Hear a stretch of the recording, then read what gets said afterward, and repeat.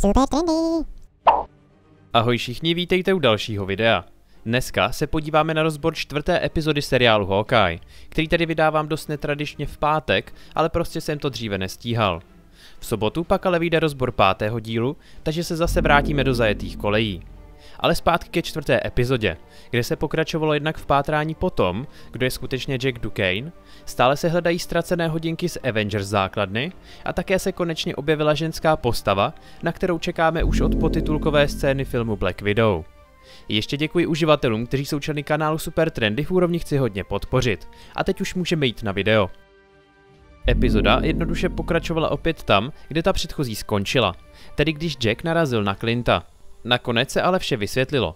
Clint je přece jen Avenger a také došlo k záměně jeho superhrdinského jména, kdy Jack ho nazval Archerem, což anglicky znamená lučištník. To se nejspíš odkazuje na starší komiksy, kde se Hawkeye původně jmenoval Clinton Archer. A v jiných komiksech zase vystupoval Wyatt McDonald jako Golden Archer a později Black Archer. Přičemž všechny tyto postavy byly na první pohled lehce zaměnitelné.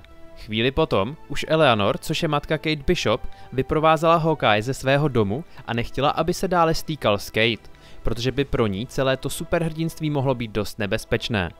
Dokonce se ho zeptala, jestli má také děti, ale to Clint přešel jen s Pokerfacem a taky se svou katanou Ronina v kapse. I když v Age of Ultron byla jeho rodina utajená, tak přeci jen v seriálu Hawkeye se už alespoň se svými dětmi ukázal na veřejnosti. U Eleanor se mimochodem spekuluje, že by to mohla být alespoň částečná záporačka, a konkrétně by to mohla být Madame Mask z komiksů. Teoreticky to mělo být naznačeno obrazem v této epizodě, který znázorňoval ženu jakoby bez tváře, čímž se v komiksech vyznačuje právě zmíněná Madame Mask. Čím nás seriál Hawkeye zatím hodně týzuje, je uvedení Kingpina, protože i ve čtvrté epizodě byl naznačen, když Clint řekl, že Jack Duquesne pěre špinavé prádlo pro Big Guy, neboli velkého chlapíka. Je docela zajímavé, že nápis Thanos was right, který jsme v první epizodě viděli na záchodku v divadle, se stal i námětem na merchandising, protože Hawkeye pil z hrnku s tímto nápisem. K tomu pak Kate doufala, že Hawkeye přijde s nějakým plánem, jak na teplákovou mafii a taky na Jacka Duquesna, ale on jí řekl, že on není ten Avenger, co by přicházel s plánem. A jak správně říkal, tak on je zbraň, protože plánování za něj dělal hlavně Nick Fury.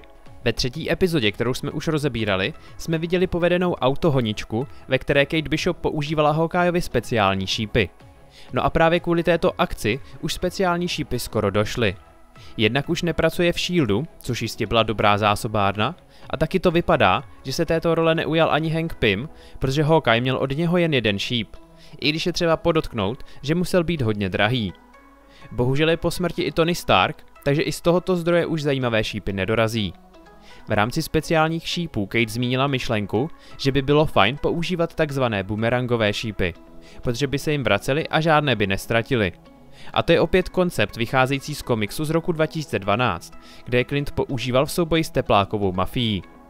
Zajímavou novinkou do světa MCU bylo, že Hawkeye má vlastně super schopnost.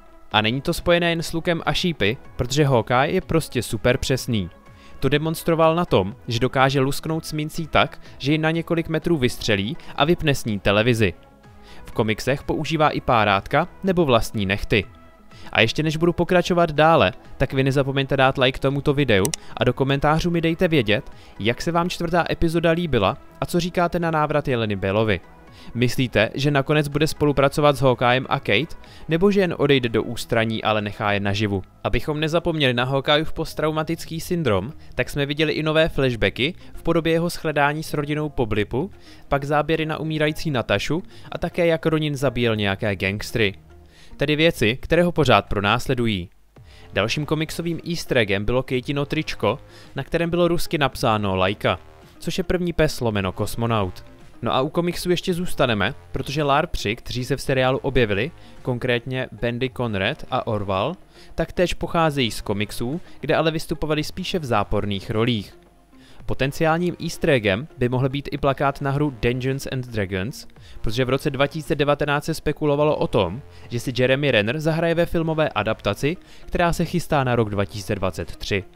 Nakonec ale jeho roli získal herec Chris Pine. Ve stejném bytě se kromě plakátu ukázal easter egg na hru Tomb Raider s veleznámou Larou Croft.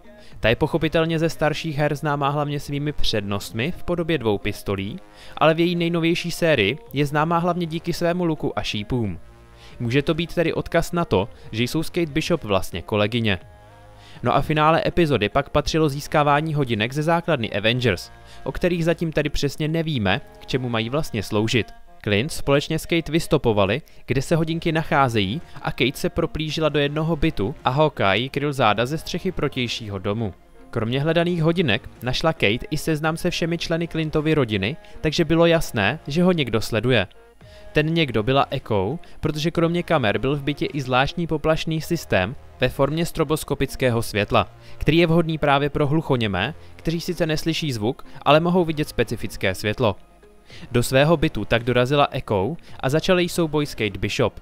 No a aby to nebylo Hawkeyeovi líto, tak za ním na střechu dorazila další ženská postava, a to je Lena Belova, na kterou jsme pochopitelně čekali už od potitulkové scény z filmu Black Widow, kdy jí Valentina oznámila, že jejím dalším cílem je právě Clint Barton. V jejich souboji ale měla Jelena většinu času zakrytou tvář, ale bylo na první pohled jasné, že je to ona také podle jejího bojového stylu. Kromě toho taktéž používala typické Natašiny pózy, za které se jí posmívala v jejím solovém filmu. Ale nejspíš to teď dělá na její počest. V seriálu Hawkeye je oblek Jeleny hodně podobný tomu, který nosí v komiksech. Tedy přiléhavý černý oblek s brýlemi pro noční vidění. Kromě toho má i zápěstní zbraň typickou pro Black Widow, kterou na chvíli omráčila Hawkeye a který z toho pak pochopil, že si někdo na jeho vraždu najel právě Black Widow. Jak víme, tak organizace Red Room sice byla už doopravdy zničena, ale i nyní, svobodné Black Widow, se nějak musí živit a zabíjení jim jde ze všeho nejlépe.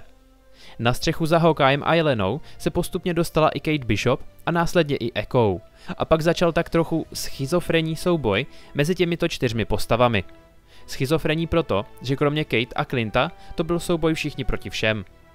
Jelena chtěla ale hlavně zabít Clinta a tak se pokusila uklidit Kate stranou. Proto ji skopla ze střechy dolů, ale předtím ji zajistila hákem s ocelovým lanem tak, aby jen zůstala vyset nad zemí. Hawkeye si ji ale pokusil chytit a vyvolalo to v něm flashbacky na podobnou scénu s Natašou, kterou se snažil chytit na Vormiru. Kate to ale přežila a Hawkeye jí lano odříznul a řekl jí, ať odstkouká zmizet. Což je vlastně to samé, jako by jí řekl, pojď zase bojovat na střechu. Nakonec to totiž byla právě Kate, která celý souboj vyřešila pomocí jakéhosi speciálního sonického šípu, který všechny odhodil pomocí rázové vlny. To už bylo na konci epizody a po zmíněném výbuchu pak Echo utekla a přeskupit se rozhodla i Jelena, která si ale ještě dramaticky sundala masku, abychom jasně viděli, že je to opravdu ona. Clint se ale tak jako tak snažil dodržet své slovo, které dal Katině matce na začátku epizody. A tak Kate řekl, ať jde domů a už ho nekontaktuje. Protože teď, když je do všeho zapletená ještě Black Widow, tak už je to opravdu nebezpečné. Takže už asi druhé přerušení jejich spolupráce, přičemž je všem asi už teď jasné, že to konec rozhodně není. Díky všem, co se na video dodívali až do konce. Pokud se vám líbilo, tak nezapomeňte na like, odběr a zvoneček, aby vám neuniklo příští video. Pokud byste chtěli podpořit kanál Super Trendy, tak se můžete stát jeho členy jako uživatelé, které teď vidíte na obrazovce. Stačí kliknout na modré tlačítko Připojit se, hned vedle tlačítka pro odběry a tam už se dozvíte více. Nebo si můžete koupit parádní Marvel merch, na který mám odkaz v popisku videa. Do komentářů mi napište, jak se vám čtvrtá epizoda líbila a co říkáte na návrat Jeleny Belovi. Myslíte, že nakonec bude spolupracovat s Hawkeyeem a Kate, nebo že jen odejde do ústraní, ale nechá je naživu? Zatím se mějte krásně a uvidíme se zase u dalšího videa.